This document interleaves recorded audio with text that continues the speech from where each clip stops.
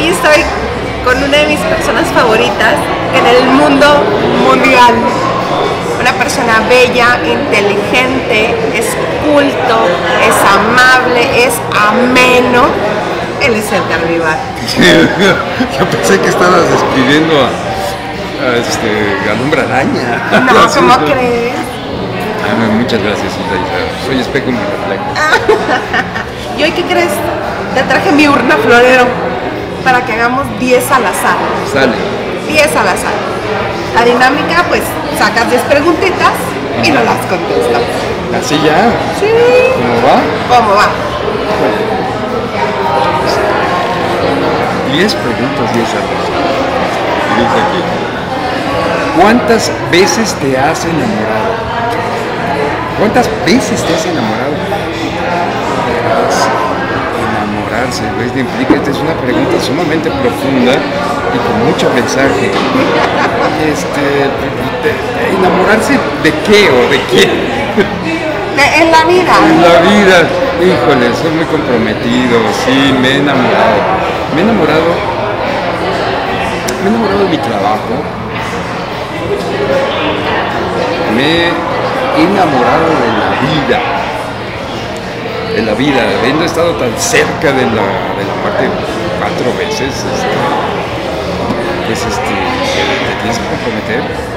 Realmente enamorarse es eh, primero reconocer en ti ese sentimiento y después hacerlo, depositarlo en algo, en tu vida, en otra persona, en, en lo que haces, en lo que implica eh, ese sentimiento que reconoces. Pero yo creo que me he enamorado dos veces. Dos veces. Entonces, eh, profundamente comprometidamente. Es un sentimiento muy hermoso estar es un sentimiento que te mueve, te mueve y te hace, te hace sentir vivo. Creo que es una, una conclusión que, no, lo- digo yo, lo, ha dicho mucha, mucha gente. Y yo me referiría a un algo en particular. Hay una, una canción de Stephen Sondheim que se llama Making a Life que me hizo sentir vivo y estar enamorado es realmente la justificación de, estar vivo en este planeta. Y te puedes enamorar de muchas cosas, esa es otra historia. Pero primero reconocer el sentimiento durante mi vida que ha sido dos veces. Dos veces. Y ya, a ver, vamos a ver. Segunda pregunta. ¿Qué obra de teatro te gustaría hacer? Uy, ma. Un montón de obras. Así que me gustaría hacer. Ya la hice, pero me gustaría hacerla ahora, en esta etapa de mi vida. Eh, hay un autor que creo que es un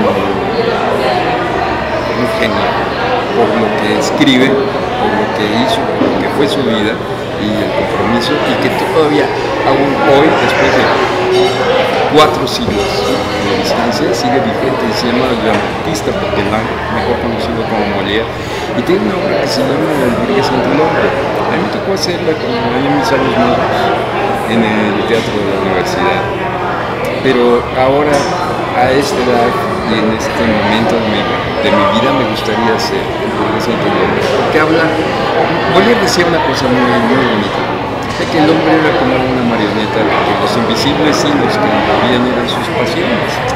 Entonces esas pasiones hoy en día siguen siendo igual, humano se mueve. Entonces eh, el misántropo, y tiene las preciosas ridículas, y tienes el avaro, que escritos magistralmente por él, y cada uno refleja un- una, pasión diferente, personificada en, en- en un- en un personaje, valga la redundancia, principal de cada una de estas obras. El que el hombre habla acerca de, de la persona que quiere ser y no es, no es, y se esfuerza por, por aparentar lo que no es. Y de eso estamos llenos. No, no pasa eso, no pasa. Fíjate hay que gente sí, así. uh, eh, cerca de ti y de mí hay mucha, mucha gente que así. Los ubico. No. Vale, vale. Va la tercera. Adiós. Es una linda obra, me gustaría saber. ¿Qué te prende, pues?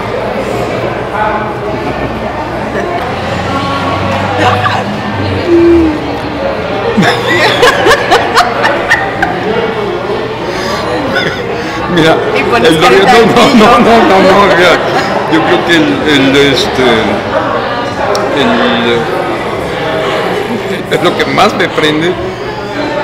Mira, una buena, una buena plática, una, una, me subviva la, la, inteligencia, el ingenio.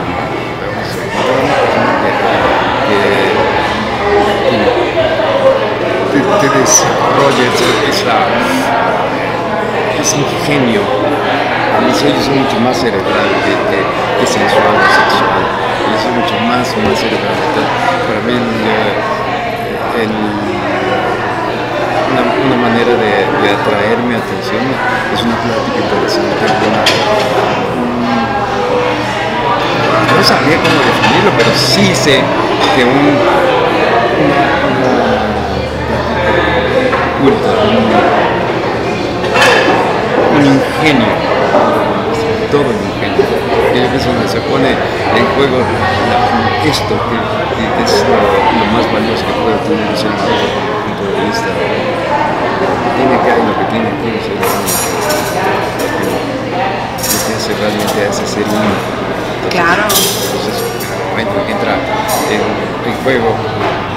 eso, pues a mí, a mí me prende, me me- primero capta mi Ajá, atención. ¿no? Mi atención y entonces... A ver, ¿cómo decías? A ver, sí, de- entonces empiezas a... Y ya después de envoltura, bueno, pues este... Si me invito un café no le digo que no. no, pues, este, vamos a ver. ¿Qué te apaga? No. ¿Cuál es tu chiste favorito? Que lo cuente, que ¿Tu cuente. chiste favorito? Híjole, yo soy re malo para contar chistes. pero- Veo que yo no creo que seas. que soy maleta, maleta. Ah, a ver, es mi chiste favorito. No sé, de que. Niño que, que llega y se queja con su mamá. Después me dicen que soy muy mentiroso. Ay, cállate que a la escuela vas, ¿no?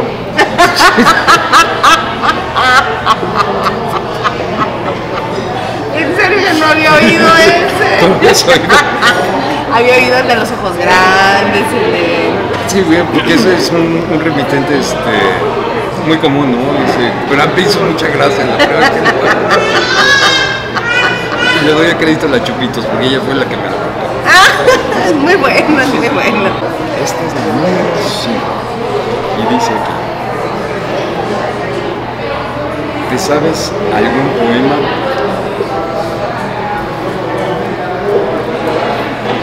Sí, sí me sé algún poema.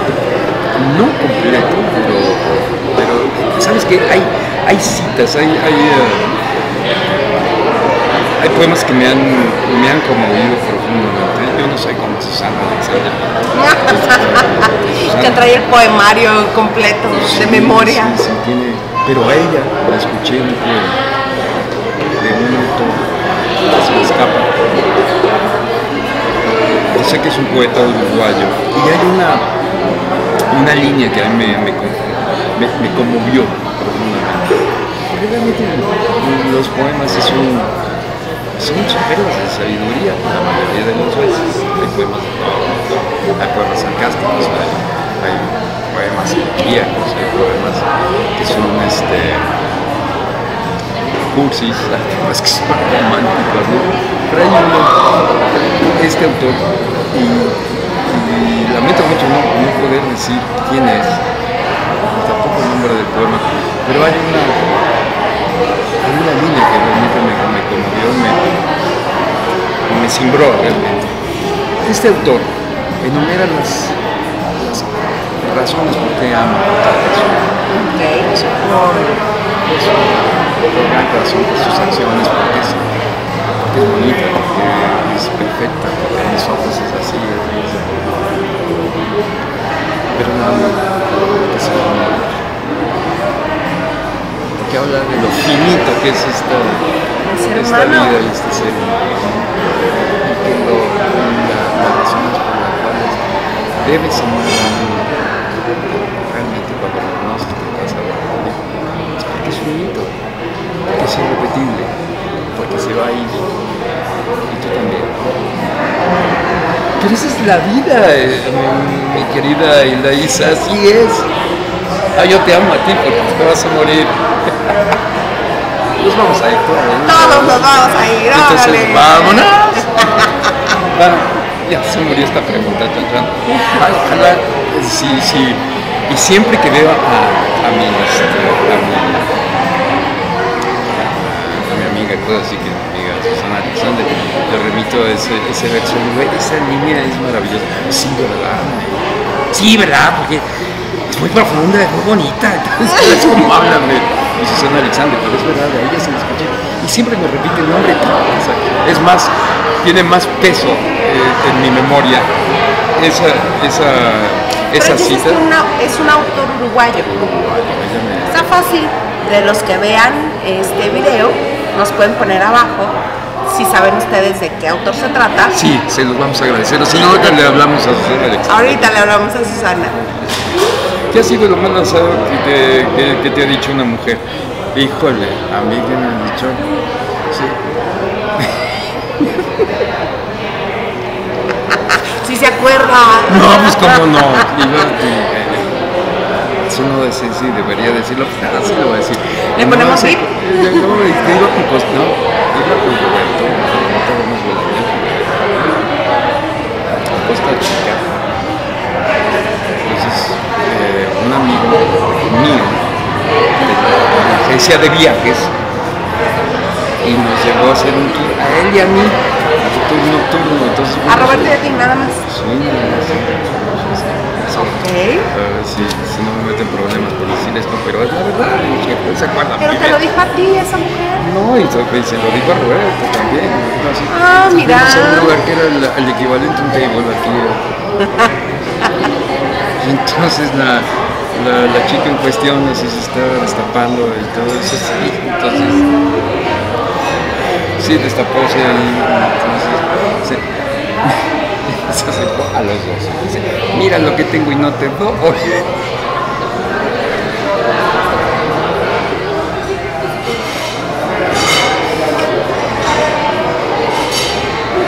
¿A qué señora esta? No, ya me... Sí, sí eres señora, no te puedo, te puedo decir, allí sí como una señorita. ¿eh? no había manera. ¿A quién admiras en el ambiente artístico? ¿En cuál ambiente artístico? Eh, En el que haya. Puede ser a nivel mundial. Bueno, a nivel mundial, sí tengo actores, actores favoritos. Mira, a Meryl Streep, admiro a la señora Meryl Streep, es un, es un, es un monstruosamente eh, cambiante en cuanto a, su manera de interpretar. Es una mujer que, vende verdad y yo la veo en la, en la pantalla, no me ha tocado nunca verla en vivo, no sé si este o haya hecho teatro alguna vez, pero lo que veo y su trabajo en el, cine se me hace camaleónico, que, que- envidia y qué admiración de la, de la buena la tengo, esa, esa mujer admiro eh, el genio creativo de, por ejemplo, una China Mendoza. La China Mendoza es una actriz que es eh, profundamente venerada en Argentina y en Uruguay, ella es uruguaya. Es una mujer que ahora tiene los años, pero a mí me conmovió hasta el tuétano verla en una representación de, una obra que ella, la gente interrumpía la representación para aplaudirle de pie. La obra se El Camino a la Meca es un personaje de que ella interpreta, no es el central de la obra. La, acción está basada en, es una obra biográfica de esta autora y habla desde el punto de vista de ella y su convivencia con una mujer que hacía estatuas de, de una escultora, esta mujer viejita que interpreta a la China Mendoza, pero toda la acción de la obra es acerca de la vivencia de esta mujer, la convivencia con, este otro personaje. Pero el personaje principal, repito, no es el que interpreta la, la China Mendoza. Bueno, es el, a la mitad de la obra tiene un monólogo donde habla de por qué hace estas estatuas, todo apuntando hacia la Meca, todas las, las estatuas están apuntando con, el dedo índice hacia la Meca, y las razones por cuál hace esa. Eh, es. A la, mitad del, del la gente se pone de pie para unir a esta mujer de noventa tantos años que está hablando de las razones por qué, hace esta cosa nunca me había pasado, nunca lo había visto y a mí me, me, me, conmovió, me conmovió realmente verla. Mira, acordarme, dices, aquí se cumple la premisa del teatro, ¿no? Aquí, decir, todas las noches lo hacía esta mujer, a ella la admiro, a ella la admiro por esa entrega y por esa... Entonces, dos mujeres tan distantes en tiempo y en espacio, pero que tienen esa capacidad de conmoverme, de conmoverme y de una de su trabajo a través de la pantalla y otra de su, de su trabajo en, en escena. ¿Cuál es tu nombre completo? Esta va rapidito. Mi nombre completo es Edgar, Edgar, donde al final, Ángel Vivar Villanueva. Sin comentarios.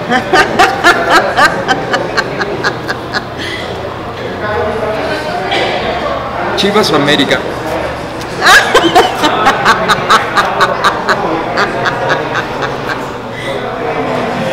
¿Qué apuestas te arrepientes de haber perdido? Uh.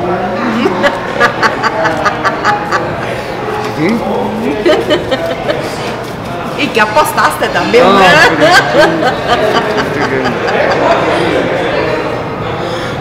Mira, aposté alguna vez, es decir, de verdad, eh, con, con, eh, con eh, ya, ya murió, con Horacio, Horacio Gómez Bolaños, de. Él eh, nació en el día 28, y yo también nací en el día 28. Entonces eh, estábamos en Puerto Rico, vamos, ruleta. Entonces, este, invariablemente, nunca, nunca, nunca, nunca salía el número 28. Ya había eh, apostado, pero Horacio era mucho más cauto que yo en, En la apuesta. entonces, entonces, no había salido y ya se iba, le digo, mira, por las estadísticas va a salir el 28. Vas a ver. Dice, sí. Dice, pues apuesta en lo que tienes. Ah, y le aposté lo que el dinero al 28. Y no salió. Y no salió. Y, y dice, no, ahora va a salir. Y él apostó todo y salió el 28 después de que yo lo. Así me acuerdo. Te tuviste que regresar caminando a Pero México. casi, casi. Casi, casi. Qué bárbaro. Conclusión, no vuelvo a apostar, ya no juego, no y podía haber, mira, con mi personalidad que es así, este, obsesivo compulsivo, caí en otros excesos, en la comida, evidente, todo el mundo lo sabe, pero eso, eso, sí me arrepiento de haber apostado, pero qué bueno que lo, que, lo hice, porque si no hubiera caído en, en el, en el vicio del, juego. Me acuerdo muy bien. Bungee o paracaídas. Paracaídas. Paracaídas. Sí, aquí mi bebés, aquí a mis 65 años, me falta eso. Me falta. Adoro las montañas rusas. Mientras más temerarias. Sí, yo voy al. Yo voy al. Sí. Uy, no, te, te cuento. Hay un maravilloso parque de diversiones en Valencia, California, que se llama Montaña Mágica, que muchos de nuestros amigos no te conocen. Y bueno, hay dos montañas rusas que me chiflan. Una que se llama Tatsu, que vas de, de te sientas y te, te ponen así, realmente de- vas de cabeza todo el tiempo, vas, vas bien, te ponen unos arneses, en los pies también, entonces de ir sentado vas realmente volando, ¿sí? Volando. vas viendo hacia abajo. Y tienes son seis o siete loops, los que haces. es una de mis favoritas.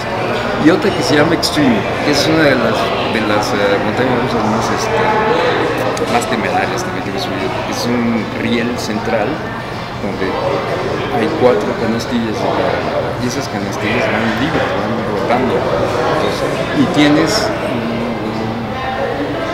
son cuatro loops y hay caídas y todo eso, me encanta. Me falta aventarme para caídas, espero, espero hacerlo este verano. Muchas gracias ¿Pero por tus respuestas, por tu tiempo. Yo te, tú sabes que yo te quiero infinitamente y que te agradezco siempre que me dediques tiempo, que compartamos, Eso que me es, es- platiques. eso es muy bonito, de coincidir y compartir. Creo que eso es, a eso se reduce la, la existencia de Si tú existes eh, y no compartes, es como si no existieras. Entonces, eh, la primera coincidencia es coincidir en tiempo y espacio, pero compartir. Es lo que tienes, y tú me has compartido muchas cosas, muchísimas. Te quiero.